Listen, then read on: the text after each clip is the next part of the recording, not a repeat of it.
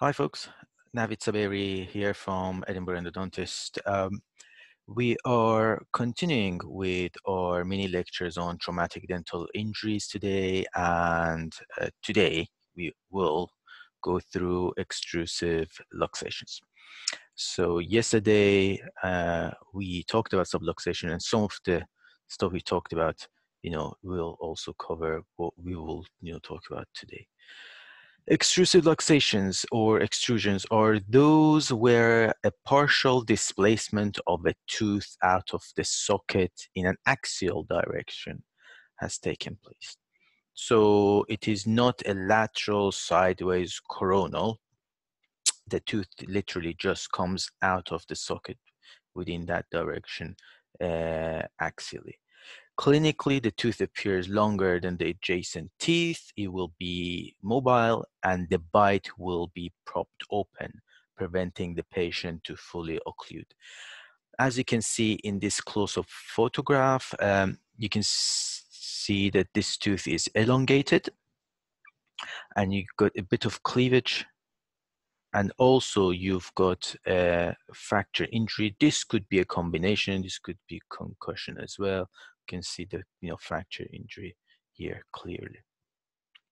So um, it is important, as we've you know discussed time and time again, that you fully examine all the hard and soft tissues. Make sure you find out what has happened to that fractured piece of tooth, whether it's in soft tissues or not. So despite the fact that you've got a by looking at it, you may have a worse injury. You, don't know what has happen in the other teeth. So you need to do a full examination. Now we start to see radiographic changes. You should be able to detect PDL widening. So if you look at this radiograph, you can see the PDL widening across.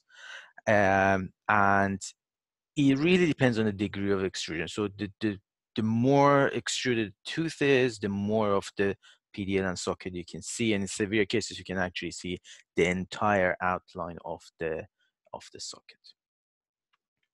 To manage extrusion in primary teeth, if mild, uh, which is less than three millimeters, give or take, either leave it to reposition itself or reposition. But please remember how and where the developing permanent successors are positioned.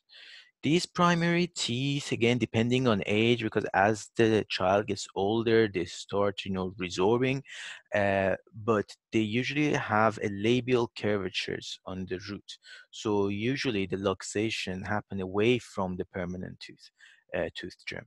But check it all clinically uh, and take all these factors into account if you are to reposition these teeth. In severe cases, i.e. over three millimeters, either again reposition or extract. Again, depending on the age of the child and for how long you will estimate that child will be without the front tooth, not just for aesthetics, but also for, you know, um, space ma uh, maintenance. If local anesthetic is impossible, consider inhalation sedation.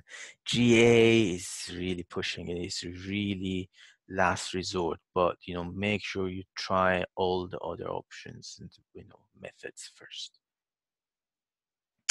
In permanent teeth, reposition the extruded tooth under local, gentle but firm uh, pressure is required.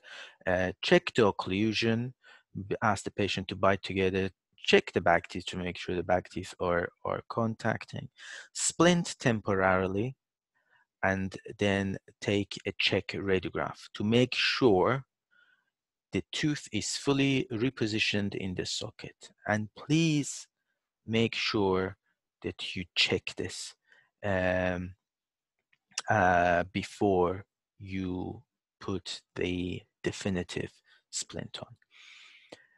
Um, and if you think you're struggling to reposition, just check and do your examination again and make sure that your diagnosis is correct. So you don't have another type of injury that may need a different sort of manipulation for repositioning.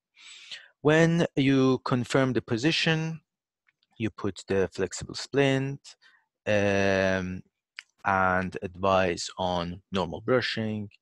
And if you have lacerations and they're extensive, do a 50-50 chlorhexidine water down for five to seven days. Then monitor the pulpal health. So again, don't jump into root canal treatment. And if you recall, for the you know first series of the fracture injuries and up to now, we haven't really talked about direct root canal treatment straight away. Uh, you know, for the majority of these traumatic dental injuries. So do not just jump into, uh, you know, carrying out root canal treatment in these teeth. But you will monitor. You'll monitor to see if you get changes to tell you that, oh, well, okay, now I've got a situation in which I will require to provide root canal treatment, either for restorative purposes. Uh, and if you recall when we were talking about um, you know, complicated crown fracture or um, a root fracture, uh, we, we, we talked about this. Then monitor pulpal health um, uh, when you get the patient back. Uh, and as explained already, you know, tooth discoloration is not unexpected. So reassure the patient and the parents about this and do not start root canal treatment just because of discoloration you need two clear-cut signs of an infected necrotic pulp for this. Remember a good tip for repositioning, uh, you just need to use a gentle but firm digital pressure and use a watch winding motion back and forth to go through any clotting in the apex. Because sometimes you cannot position it because of that clot. So you need to be firm and you need to just break through it by very, very gentle rocking watch winding movement. Uh, use a gauze or a cotton roll for the patient to bite uh, on, uh, which usually helps, uh, especially when you check the positioning. And uh, also, it helps if you go and watch the clip on the clinical repositioning of uh, the extruded teeth on the Dental Trauma UK website's members area.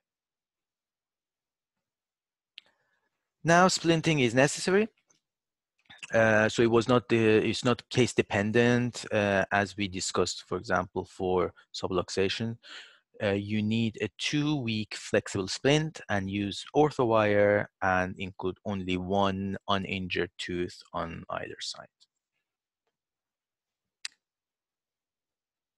And uh, you can see the result on this slide. The first close-up um, photograph shows, as we've already seen, an extrusion and a fracture injury.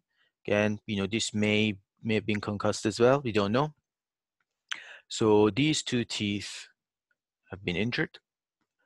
And when you look at the radiograph, it confirms it as well. Not that you need confirmation, but it will confirm that you've got widening of the PDL so you can somehow see the outline of the socket. Now you reposition and you can see that before the splint has been placed, you check to make sure that the tooth and the root is fully repositioned in the socket so it will look as if nothing has happened okay if you see pdl you go back in you try to reposition again you should not be able to see any PDL. Then it is the time for you to provide your definitive splint. Before that, if you do not see this, you do not put this on. If it still looks like this or is only just reduced, you do not put this. You go back, reposition, and then go back to put your definitive splint. And as you recall, both of these two teeth uh, were involved this has been repositioned. The maxillary uh, left incisor repositioned. This has been restored, restored, and you get one uninjured tooth and one uninjured tooth on either side using spot um, spot etch, bond, and composite, and ortho wire. And you've already seen the clip, clinical clip on the repositioning and splinting. If not, again, please go to Dental Trauma UK website and uh, watch the video clips.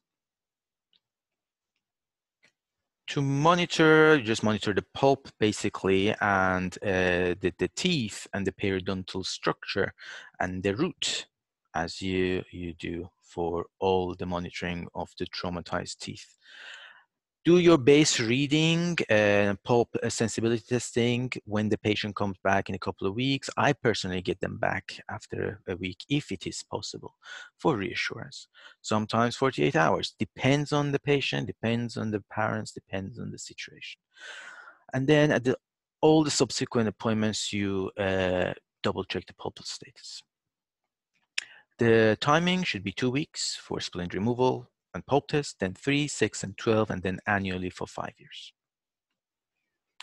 To sum up and recap, uh, for concussions, reassure the patient and monitor uh, the tooth. No splinting is required for subluxation. Again, reassure and splint for two weeks if it is very tender, and then monitor.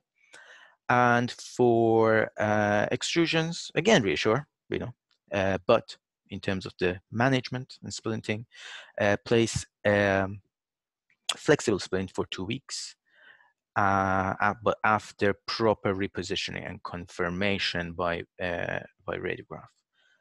Check your bite, place the splint, and you know, uh, reassure with regards to the discoloration.